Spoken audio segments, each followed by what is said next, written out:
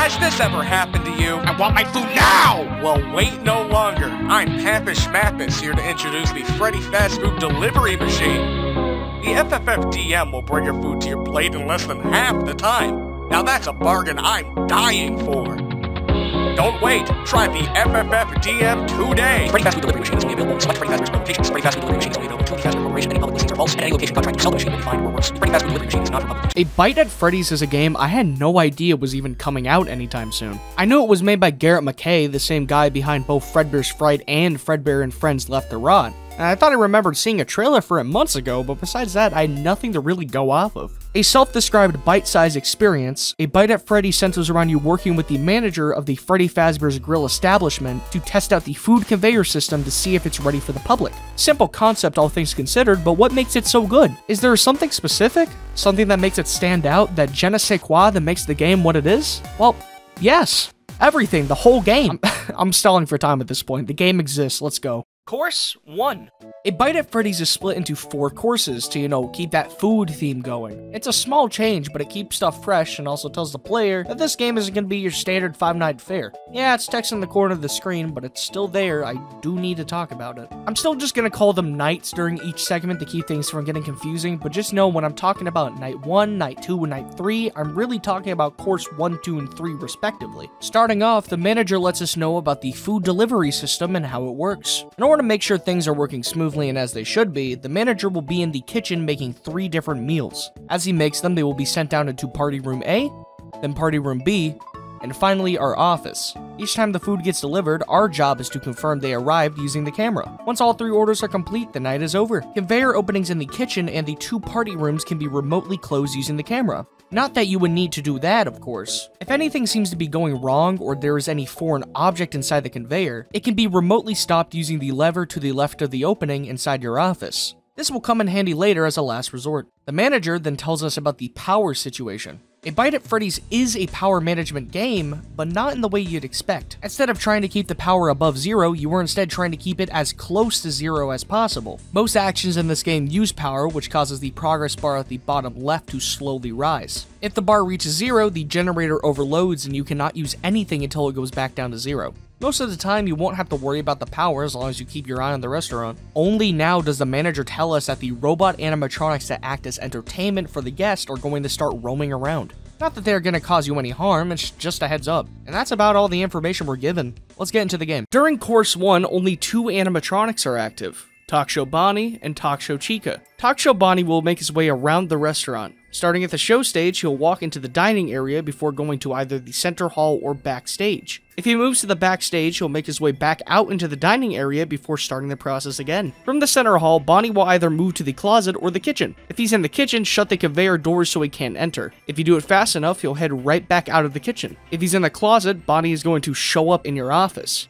Once you hear a sort of metal scraping noise, he has arrived. Shut the lights off so he can't see you, and he'll leave soon after. Bonnie is the easiest animatronic in the game. Nothing he does is necessarily difficult to take care of. Shutting the lights off is incredibly easy, and there's a large window to execute it. He's just an annoyance, if anything. The other animatronic, Talk Show Chica, follows the same design structure of either trying to enter the conveyor or heading to your office. Chica instead likes to enter Party Room B. If she is directly next to the conveyor, you need to shut the door, but if she is just in the room, you're fine for the time being. Shut the door and she'll be gone quick. Like Bonnie, if she's in the closet, she's going to be heading to your office. When leaving the closet, however, instead of just going straight to your office, she instead heads back into the center hall, peering into the room. Once she leaves there, she'll show up in front of you, hiding under the desk. When she is in the state, you must equip the toy pop gun on your desk, and get ready, because when she jumps up ready to attack, you must shoot her dead on, otherwise you'll be dead. Talk Show Chica is one of the coolest, most stylized mechanics in a fan game I've seen, but it's very finicky. Sometimes it will look like you hit her dead on, but it will still count as a miss. Later on, I did find out you don't have to be super quick with it,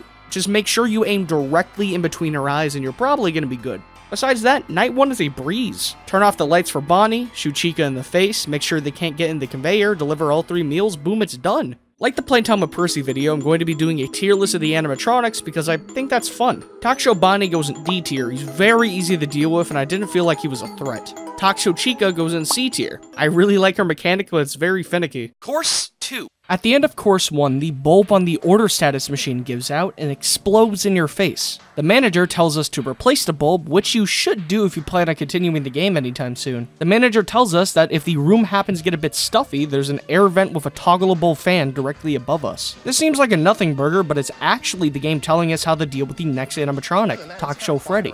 Talk Show Freddy does the exact same thing as the last two, entering the center hall before trying to enter the conveyor in Party Room A. However, Freddy might decide to enter the air vent instead. Once inside the air vent, he'll slowly make his way to the office. Once he shows up on the vent camera, enable the fan and he'll make his way back into the center hall. You have a bit of time before you have to turn the fan on, but it is best to do it as soon as he enters the air vent. If you wait too long to turn on the fan, the fan will cut Freddy's head clean off, with his head now in the office with you. What does this mean for Freddy though? Freddy will now move faster than before, and from testing, seems to now favor the air vent instead of the conveyor, which, you know, makes sense, he wants his head back. It's best to keep Freddy's head on his shoulders, as along with being faster, Freddy is harder to see on the camera, as there's no big ass head to look for. Besides that, Night 2 is the same as before, just a bit harder.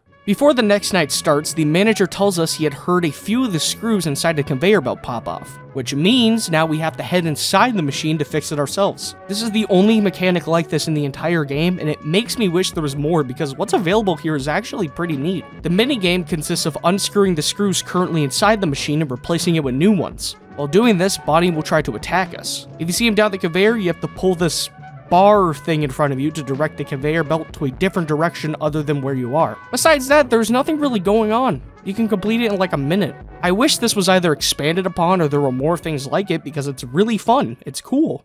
Back to the tier list, Talk Show Freddy is going to go in A tier. His mechanic is unique, but not too hard to deal with, and the fact that his head can come off, that's pretty cool. This got me off guard the first time I saw it. It's neat. Course 3. Like before, we get a call from the manager who lets us in on a very important piece of information. If the cameras start acting up at all, we can refresh them using the backstage camera. If there's an animatronic messing with the wires in the back, a refresh could also shock them away. That's about it. Thank you, manager. Very cool. Night 3, like before, adds one new animatronic, Talk Show Foxy. Why is the fox paying taxes? Why is he dressed like a lawyer? Why make the fox a fucking government official? Foxy starts in his own camera before making his way to the dining area and eventually backstage. Slowly but surely, Foxy will walk in, notice the wires, and get ready to bite down. If he does bite down, the cameras will go out and you'll be forced to use the backup cameras, causing your power to go down as long as you have them open. But if you refresh the camera right before he bites down, you'll shock Foxy. After this, Foxy will either head back to his camera, or he will get pissed and head into the kitchen to try and use the conveyor to run down into your office. If you close the conveyor, Foxy will make his way back to either his camera or the dining hall.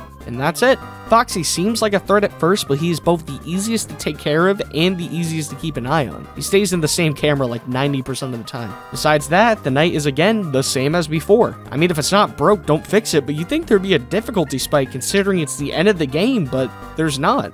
It's weird. It's tier list time once again. We did this like a minute ago. Foxy goes in D tier. Holy shit, he is easy to deal with. It's not even funny. He serves zero purpose other than to be there by necessity. Holy goddamn. For most players, this is the end of their playthrough. They got through the three main nights. All is good. They unlock the extras menu where you can look at all the animatronics and a paper friend.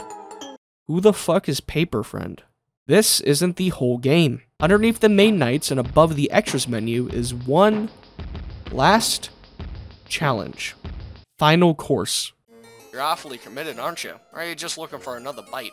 I tell you, back in the day, this place was jumping. We had families in and out all day, new shows, new events, the whole works. It all changed after the bite happened. Some kid went up and bit a huge chunk right out of Fredbear's face, tore it right off. Now he sits there all alone on his little stage inside the wall, slowly wearing away.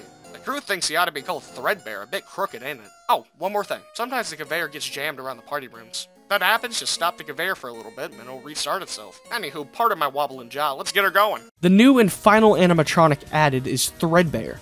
Threadbare is basically just every animatronic melted together, but just faster. In most cases, Threadbare will only have one move he makes before getting ready to kill you. In the party rooms, if he's in there, you have to instantly shut the conveyor, and in the vent, if you see him, you immediately turn on the fan. On your camera monitor, if the backstage has a flashing icon next to it, click on it and refresh the cameras. Otherwise, Threadbare will make you lose your connection. Besides that, like before, the night is just the same but harder. I'm not really sure if it was intentional or not, but nothing here really feels like a Final Night, you know? It's harder, yeah, and there's a Threadbare variant, that's true, but it's just bland. Bonnie, Chica, Foxy, and Freddy all have unique mechanics. You think Threadbare would have his own mechanic, rather than just being the rest of the cast but the same. I like it, but when all is said and done, it just feels like one long night. We're going back to the tier list again, and despite everything I said, Threadbare is going to go into S tier. He's the only somewhat hard character to deal with. I like a Bite at Freddy's, but I wish there was more substance. I wish there was more to do or different mechanics instead of just the same thing the entire time. Like most FNAF games, a Bite at Freddy's has a custom night, but unlike most FNAF games, a Bite at Freddy's has challenges. Yeah, we're talking about the challenges now. Yeah! Challenges. A Bite at Freddy's has six different challenges available, most of them changing the core gameplay in some way. The first challenge is Basket Hunt. Instead of the usual three orders you have to confirm in order to beat the level, there's instead five. After each order is completed, it randomly spawns around the map, and in order to confirm the order, you have to find and then click on it using the camera. Besides that, it's the same as before. The animatronics active on this challenge are Freddy, Bonnie, and Threadbare. The next challenge, and my personal favorite, is Haunting Roulette. During this challenge, you were given a tool used to shock various items in your office and on the camera, at the cost of some power. Occasionally, when an animatronic gets ready to attack you, the tool you must use to defend against them will become haunted. If it flashes on screen, equip the shocker and use it on said tool. Or in the fan's case, click on the button next to the fan. It does make some things difficult, but luckily shocking the tool will cause the animatronic to retreat as if you defended against them. It's a nice challenge. Haunting Roulette is to me what I wish Juniors was. That's not to say Juniors is a bad game, but it's not my favorite game by a long shot. The animatronics active on this challenge are Freddy, Bonnie, Chica, and Foxy. The third challenge is Cold Kitchen and is by far the worst challenge in the entire game. Holy shit. The restaurant's heater is broken, so the building is incredibly cold. Because of this, the cameras will occasionally freeze, which means you have to refresh them as that somehow heats them back up. The best way to clear this challenge is to constantly refresh the cameras. I hate this. Yeah, it's a skill issue on my part, but it's not that it's hard, it's just that it's fucking annoying. Especially because on this night, Freddy, Bonnie, Chica, and Threadbare are active. It'd be fine if all of them were active, but these four are fucking awful to deal with at the same time. All of them go to different rooms, and Threadbare goes to every room. So you can't just focus on a few cameras, you have to constantly look around the entire establishment to see if Threadbare decided to move an inch this time. I hate it, but that's just because I'm bad. The next challenge in order is out of service. It's just night 3, but you can't stop the conveyor. I, I have nothing to say. I barely stopped the conveyor as is during my playthrough, so for me it's literally just night 3. This challenge feels like it belongs farther up on the list. I don't know, it just might be me. The second to last challenge is Lunch Rush, the first challenge to have all 5 animatronics active at once. Lunch Rush makes it so you have to take care of 7 orders instead of 3. For the first 6 orders, they will be ping-ponging between party room A and B, the last one being the same as usual. It's just a longer final course, it's boring, really boring. The final challenge is the obligatory max difficulty mode, or in this game's case, 520 mode. I'm not going to go into detail about this, you know, you know what max mode is. You watch FNAF tubers. Now, that's about everything in the game. Let's wrap things up. Conclusion. Sometimes, a fan game comes out that blows the rest of the competition out of the water. Either from style, gameplay, or both. For me, that was Playtime with Percy. For others, that was probably Joy of Creation story mode. For crackheads, it was Dormitabis. But as of now, that game is a Bite at Freddy's. I haven't mentioned this yet, but the animatronics are based off of the old portrait Chuck E. Cheese robots. If you need an example of what I'm talking about, take a look at Five Nights at Chuck E. Cheese's Remastered. That's definitely a robot right there. The animatronics in a Bite at Freddy's takes the design of these animatronics and makes them more modern. If there was an animatronic pizzeria around today, I feel like the animatronics would look like the ones here. The gameplay takes the core concept of FNAF and turns it on its head. Every character is unique in some way, either by difficulty or just mechanic-wise. In most of the custom nights in the official games, there isn't really any reason to play it besides max mode, because in FNAF 1 it's all door-based, and FNAF 2 it's all mask-based besides one character. In a Bite at Freddy's, because every animatronic has a different mechanic, give or take, you can pick and choose and still have a fun time. I wish more fan games were like a Bite at Freddy's, but if that were the case, amazing examples of creativity like this would be a dime a dozen. It would lose its importance and meaning. Every time things seem to be getting stale in the fan game scene, one good thing comes out and changes everything. I hope more things like this come out soon because I'm loving every second of it. Check the game out if you haven't already. I have nothing else to say.